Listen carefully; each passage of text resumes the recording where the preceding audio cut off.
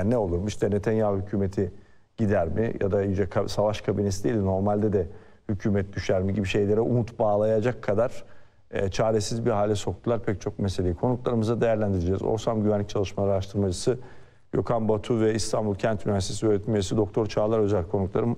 Hoş geldiniz ana habere. iyi bayramlar. Hoş bulduk Mehmet Akif Bey. İyi bayramlar diyorum. Gökhan Bey size de iyi bayramlar diliyorum. Ee, Nerede? Sağ olun. Çağlar Hocam hemen başlayalım sizle. Ee, bir, şey ifade eder mi? Ne ifade eder? Savaş kabinesinin Aslında- dağılması. Yani siz aslında çok ifade ettiniz. Yani iş o noktaya geldi ki artık iç e, İsrail'in kendi içinden verilecek olan kararlara razı gösterecek bir platforma doğru sürükleniyor gibi gözüküyor. Ama şuna gelelim. E, Mehmet Akif Bey öncelikle şunu ifade etmek istiyorum. Bildiğiniz üzere 7, Kas- 7 Ekim saldırılarından işte 3-4 gün sonra kurulan bu savaş kabinesinin bugüne kadar bütün dünyanın gözü önünde, uluslararası toplumun gözü önünde soykırımı yapan eden bir kabine. Yani bu açık ve net hepimizin bildiği bir konu. Ee, şöyle bakmak gerekiyor. Ben burada şunu görüyorum e, Sayın Ersoy. E, Netanyahu'nun çok içeriden ve dışarıdan çok ciddi bir sıkışmışlık yaşadığını görüyorum. Neden bu kanıya vardım? Neden böyle okuyorum? Şöyle ifade edeyim. Birincisi e, ma- şeyde 18 Mayıs ayında 18 Mayıs'ta e, şu hususlardan dolayı Netanyahu'ya bir ultimatom verilmişti açıkçası ultimatom gibi. Yani ya rehineleri geri getir, Hamas'ı yok et, Gazze için de bir sivil yönetim oluştur şeklinde altı e, maddeli bir konu kendisine ifade edildi ve bunu söyleyen kişilerin de enteresan bir yapısı var. İkisi de eski Genelkurmay Başkanı. Yani gerek e, Gadi Eisenkot ve Gantz ikisi de Genelkurmay Başkanlığı yapmış. Asker kanadının da daha çok e, görüşlerini yansıtan kişiler olarak dikkat çekiyor. Ancak e, Netanyahu'nun e, özellikle bu konuyu e, zannedersem herhalde pek tam e, okuyamadığını düşünüyorum ve da ABD tarafından da başlatılan bir e, sürecin de e, şahitlik ettiğimizi değerlendiriyorum. Netanyahu ile öncelikle şunu ifade edelim. Netanyahu ile ABD arasındaki görüş ayrılıkları gerek hali hazırdaki durum itibariyle gerekse olası ateşkesten sonraki oluşacak yeni çerçeve içerisinde Biden'la Netanyahu arasındaki görüş ayrılıkları ve ciddi manada derin çatlaklar oluşturuyor. Artık Netanyahu'nun dizginlenmesi, kontrol altına alınması ve bu işin Netanyahu ile ol- oluşamayacağına dair bir görüş oluştu ABD'de. Şekilde Hocam de- 9 aydır bu böyle ya. Biliyorum, biliyorum, biliyorum. Yani Evet. Ancak yani biz burada hani ABD'yi böyle çok e, sütten çıkmış ak kaşık olarak göstermiyorum. Ben bir analiz yapıyorum neticesinde. Mehmet bakacak olursak Yani 9 aydır bu böyle. 9 aydır biz şeyi konuşuyoruz. Yani ya evet Netanyahu Evet, evet. hükümeti zaten e, ayakta durmak için şunu yapıyor. İşte biliyorsunuz daha önce de protesto gösteri, yargı reformu kararından Tabii, dolayı protesto gösterileri vardı. İçeride çok sıkışmıştı Netanyahu vesaire. Yani savaş Yani kabinesinin işte- dağılması bir şey ifade eder mi? Et, etmeyecek efendim. Ben işte ona, ona, ona getireceğim. Yani buyurun. açıkçası bu savaş kabinesinin dağılmasından öte biz e, kabine tamam dağıldı. Alınan kararda yeni bir güvenlik grubu oluşturup onun üzerinden devam edecek. Yani bu e, İsrail'in başlangıçta ortaya koymuş olduğu siyasi ve askeri hedeflerden bir vazgeçme olarak okumamak gerekir. Bunlardan vazgeçmiyorlar. Sizin ifade ettiğiniz konuya ben bir katkıda bulunayım Sayın Er- Ersoy. Yani ABD isteseydi bu e, katliamı durduramaz mıydı? Bir günde durdurdu. Ben değişik kanallarda defaten bunu söylemiştim. Yani onlar da kendi menfaatleri doğrultusunda yürüdüler. E, Birleşmiş Milletler Güvenlik Konseyi'nde e, barış, barış çağrılarına bloke eden, veto eden ellerin hala unutmadık. Bu katliamların açıkçası gözüken icracısı İsrail olmakla birlikte arkasında da ABD olduğunu bütün dünya kamuoyu biliyor. Uluslararası Ceza Mahkemesi e, yargılanması gereken kişileri ifade etti ama orada eksik koydu ortaya. Bence ABD'li yöneticileri de oraya dahil etmesi gerekir. Ve umarım uzun vadede de böyle bir şey de görürüz inşallah diye değerlendiriyorum ama şu konuya geleyim fazla da zamanınızı almayayım. Ee, kabinenin değişimi. Kabine değiştikten sonra Netanyahu'nun tarzını gördük. Yani kendine göre e, güvenlik kabinesiyle yürümeye çalıştık. Al- Alacağı kararlarda ben bir değişiklik olacağını değerlendirmiyorum. Ancak şunu düşünüyorum. E, iç kamuoyunda İsrail'de artık Netanyahu ile bu işin olmayacağı ortaya çıkıyor. İşte sokaklarda hareketlilikler var. Amaç veyahut da uygulanması düşünülen plan belki de Netanyahu'ya el çektirmek, e, işte bir erken seçime zorlamak. Ya bir şekilde değişikliği artık e, gelinen nokta dışarıdan biz bu işi yapamadık. Uluslararası toplum, uluslararası örgütler biz bu işi yapamadık. Artık içeriden bari Netanyahu'yu düşürelim de hiç olmazsa öyle halledelim noktasına doğru giden bir strateji olarak görüyoruz. Ama şöyle de bir şey var e, Sayın Akif Ersoy. E, Nete, şeyin ifadesi çok önemli. Tabii e, Biden'ın Netanyahu için Ya tabii ki 9 ay sonra söylenmesi ne kadar derecede bir anlam taşır ama yine de önemli bir ifade. Bil- bil- Bildiğiniz üzere Netanyahu'yu siyasi geleceği için savaş uzatmakla suçluyor ama zaten bu savaşı birlikte planladılar, birlikte uyguladılar. Ben buraya bir Yahudi olarak geldim diyen Blinken'la başlayan süreci biliyoruz. Kesintisiz destekleri de biliyoruz. Netice olarak e, Netanyahu ABD'nin şu aşamada, gelinen aşamada Sayın Ersoy, Netanyahu ABD'nin ve Batı'nın desteğini e, ciddi manada azaldığını, kaybettiğini gör- görmek üzere görüyor da. Uluslararası Adalet Divanı'nın kararlarını hiçe sayıyor, uygulamıyor. Ama kabine değişikliği ne getirir? Çok olağanüstü bir İsrail profilinde olağanüstü bir strateji değişikliği getirmez. Ben Netanyahu'nun şöyle değerlendiriyorum. Şu anda ateşkese zorlanma aşamasında bir ateşkes e, atmosferin oluştuğunu görüyoruz, bir, takip ediyoruz. Bir ateşkesin olasılığı, yapılabilme olasılığı çerçevesinde e, Netanyahu'ya karşı yapılacak olan bir baskılama olarak değerlendiriyorum. E, Kabineyi değiştirerek ne yapmaya çalıştı? Kabineyi değiştirerek kendisini e, bir şekilde yalnız bırakmaya çalışan Gantz'ı devre dışı bıraktı. Kararları daha dar bir kadroyla ancak aynı esaslarda almaya devam edeceğini görüyoruz. Ama yine de e, şöyle bir şey söyleyeyim son olarak. E, Bölgede ateşkesle yönelik olarak, ateşkesin yapılabilmesine yönelik olarak küçücük de olsa bir umut ışığı olduğunu görüyorum. Ee, bu kabinenin değişikliği Netanyahu'nun tavırlarını değiştirmemekle birlikte ateşkesin yapılabilmesi için bir nevi e, tetikleyici, zorlayıcı bir faktör olarak değerlendiriyorum. Yani neden e, bu değişiklik ateşkes için tetikleyici olsun? Ş- şöyle ifade edeyim Sayın Ersoy. E, Gantz e, şöyle ifade etti. Yani e, siz savaşın siyasi ve askeri hedeflerini ele geçiremediniz. Bu bir baskılama aslında arzu edilen şey değildi. Yani bu da bir e, ABD'nin Netanyahu yalnızlaştırma, artık ateşkesi kabul et e, şekilde yalnız bırakılması için iç politik, İsrail'in iç kamuoyunda, iç politikasında uygulanan bir strateji olarak ben değerlendiriyorum. Yani artık yalnızlaşıyorsun, siyaseten sona geldin. Sona gelirsen de arkasında seni bekleyen bir yargılama var. Bunu da görüyor Netanyahu. Dolayısıyla yalnızlaştırılarak, verilen destek çekilerek, azaltılarak bir nevi şu ateşkesin e, bir şekilde e, daha da teknik detaylarına girilerek ateşkesi masaya getirip bir an önce Hamas'la İsrail arasında ateşkesi yapılabilmesi için zorlayıcı bir tedbir olarak değerlendiriyorum. Sayın Gökhan Batu, e, ne dersiniz? Bir şey ifade eder mi? Katılır mısınız? Ayrıştığınız bir nokta var mı? Buyurun. Merhabalar tekrar. Herkese iyi bayramlar dilerim. Teşekkür ederiz. Öncelikle e, savaş kabinesinin kurulması e, hali hazırda Benny Gantz'ın e, ve Gadi Eisenkot'un ısrarlarıyla gerçekleşen bir husustu. Benny Gantz'ın kabineden ayrılması, gözlemci olarak kabinede bulunan Gadi Eisen- Eisenkot'un da onu izlemesi Ulusal Birlik e, Partisi'nden Dolayısıyla savaş kabinesinin devamlılığı konusunda bir gereklilik geriye bırakmadı. Aslında savaş kabinesinin dağılmasından çok Benny Gantz ve Eisenkot'un e, savaş kabinesinden ayrılmasını konuşmak lazım diye düşünüyorum. Bu noktada ifadeleri de önemli. Yani Benny Gantz Netanyahu'nun kesin zafer önündeki en önemli engel olduğunu ifade etti. Gadi Gadi Eisenkot'un ise söyledikleri çok daha önemli bu noktada ayrılırken şunları ifade etti. Biz aslında refah harekatını Şubat ayında planlıyorduk. Ancak Netanyahu buna engel oldu ve yaklaşık 3 ay engelledi bunu. Harekatı erteledi. Şimdi refah harekatı neden önemli? Daha önceki yayınlarda da ifade etme şansım oldu. Gazze-Mısır bağlantısını refah harekatı üzerinden keserek buradan devam ettiği iddia edilen lojistik akışların sonlandırılması yoluyla e, Gazze'li grupların mukavemetinin e, sona erdirilmesi amaçlanıyordu burada. Ve bu anlamda da refah harekatı son derece stratejik İsrail açısından. Şimdi genel noktada önemli bir kırılma yaşandı. Dikkat ederseniz iki önemli gelişme e, oldu geçen hafta. E, Benny Gantz Temmuz ayından beri ayrılmak e, ayrılma planını ifade etse de Philadelphia koridorunun yaklaşık 10 gün önce İsrail tarafından tamamen ele geçirilmesi sonrasında e, Amerika Birleşik Devletleri'ne bir- e, Joe Biden önemli açıklaması oldu. Bir plan açıkladı İsrail'de ağzından. Şimdi bu önemli kırılmaydı. Çünkü yavaş yavaş söylediğim gibi e, Gazze'li grupların bu koridorun ele geçirilmesi sonrasında mukavemetinin zayıflayacağı düşünülüyor burada.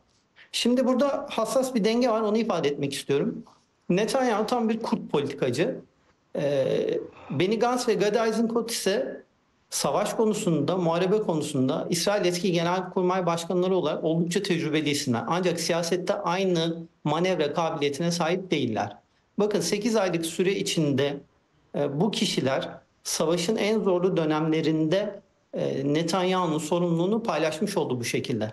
Ancak e, özellikle refah harekatının ilerlediği bu dönemde bundan sonra İsrail açısından daha hızlı bir ilerleme gerçekleşecekse Netanyahu bu başarıyı sahiplenerek seçime gidecek bir zemin arıyor. İşte bu savaş kabinesinin dağıtılması buna yarayacak Netanyahu adına. Yani e, bundan sonra Yani gerçekleşecek... duygusal davrandılar. Politik olarak hata yaptılar gibi bir şey söylüyorsunuz.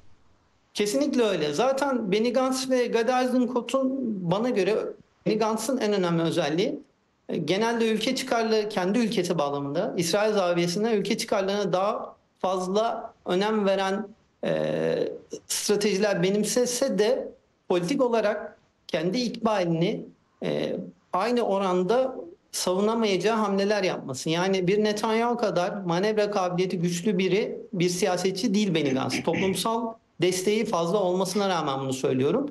Ki savaş kabinesinde kalması bu kadar uzun süre anketlere baktığınızda Benny Gantz ve Eisenkot'un toplumsal desteğini oy veren tabanını da bir miktar zayıflattı. Anketlerde de bunu izledik. Ve bu ayrılma sürecinde bunun da etkili olduğunu söyleyebiliriz. Dolayısıyla Yani tüm burada- bunların aslında Gazze ile, Gazze'de yaşanan katliamla, soykırımla, savaşla hiçbir ilgisi yok. İsrail'in kendi iç politik meseleleri bunlar. Doğru mu? Çok çok büyük bir oranda İsrail iç politikasına yönelik hamleler bunlar. Ee, çünkü çatışma savaş sonrasında the day after planı yani sonrasında ne olacağına dair meseleler ve seçime bundan sonra yapılacak seçime muhalefetin de tekrar tekrar çağrısını yaptığı üzere seçime nasıl gidileceği Netanyahu açısından çok önemli. Ve şu anda gelişmeler ki bu aylardır böyle bunu söyleyebilirim büyük oranda seçim odaklı e, davranıldığını gösteriyor. Özellikle Netanyahu e, zaviyesinden bunu söylemek mümkün. E, Netanyahu açısından seçime ateşkesle gitmek bir başarısızlık sayılır mı? Yıkım olur ben söyleyeyim yani. O nedenle de Gazze'de yakın planda ateşkes beklemek o zaman beklemiyor musunuz? Hayır kesinlikle beklemiyorum maalesef. Yani aslında bizim işimizde kesin ifadesini kullanmak pek doğru değil. Sonuçta biz e, kahin değiliz. Yani BMGK kararının hiçbir manası yok. Doğru mu? Daha önce de olmadı e, hala da ama orada bir ayrıntı var yani Birleşmiş Milletler Güvenlik Kurulu kararı İsrail'e değil Hamas'a yönelik bir karar aldı orada. Yani İsrail tarafından gelen teklifi kabul et şeklinde. Orada da bir çelişki var ama yani teklif daha çok Hamas'a yönelikti ve eleştiriler de bu noktada takip ettiyseniz e, karar sonrasında Hamas'a hedef aldı. Yani Hamas kabul etmiyor şeklinde. Yani aslında planın ayrıntılarına baktığınızda Biden'ın İsrail ağzından açıkladığı planın hemen sonrasında İsrail tarafından plana mugayir açıklamalar gelmişti. Yani biz e, çatışmanın kalıcı olarak durmasına karşıyız. Bunu yapmayacağız şeklinde. Halbuki plan kendi ağzından açıklanmıştı Biden tarafından. Ya burada da çelişki var ama e, söylediğiniz karar zaten Hamas'a hedef almıştı. Güzel. E, seçim ne zaman İsrail'de? Onu daha görmek lazım ya. Çatışmalar daha devam ediyor Gazze'de. Ee, yani şu an için bir şey söylemek mümkün O değil. zaman Kesinlikle bekledikleri olacak. seçim Amerikan seçimleri mi? Ee, Benny Gantz'ın ve Gadi Eisenkot Eylül ayı sonrasında bir seçim istiyor. Bunu açıkladılar. Eylül Aralık arasında. Yani Amerikan seçimlerine varmadan bunun hallolmasını istiyorlar. Çünkü Amerikan seçimleri burayı da etkileyecek. Bunun farkındalar. Ee, ama şu an için bir şey söylemek mümkün değil. Çünkü hali hazırda Gazze'deki senaryo e, ucu açık. Halen İsrail stratejik amaçlarına ulaşabilmiş değil. Ki rehineler var bildiğiniz gibi e, Gazze'li grupların elinde. Bunların da e, ikbali önemli. İsrail için de çok sayıda protesto devam ediyor. E, çok, Çok- sayıda siyasi tartışmalar var. Bu arada yani atlanmaması gereken önemli nokta vardı. Sözünüzü kestim ama yani Estağfurullah. ordu Netanyahu istihbarat kurumları Netanyahu arasında da ciddi bir ayrışma var. Yani buna da e, zaman kalırsa değinmek lazım. Çünkü Ne, ne konuda ifade- ayrışma? e, siz söylemiştiniz bir önceki haber yanlış hatırlamıyorsam e, yani ben bu taktiksel evet evet. Onu gördüm. ilgilendirmediğini söyledi Netanyahu. Orada başka ayrıntılar Haberim var.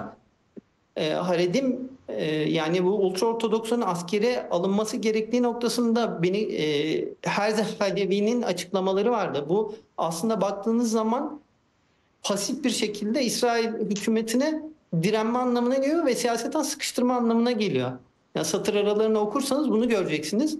Yani şu zaman diliminde e, bir genelkurmay başkanının bizim e, ultra ortodoksların silah altına alınmasına ihtiyacımız var demesi doğrudan hükümeti sıkıştıracak bir açıklama.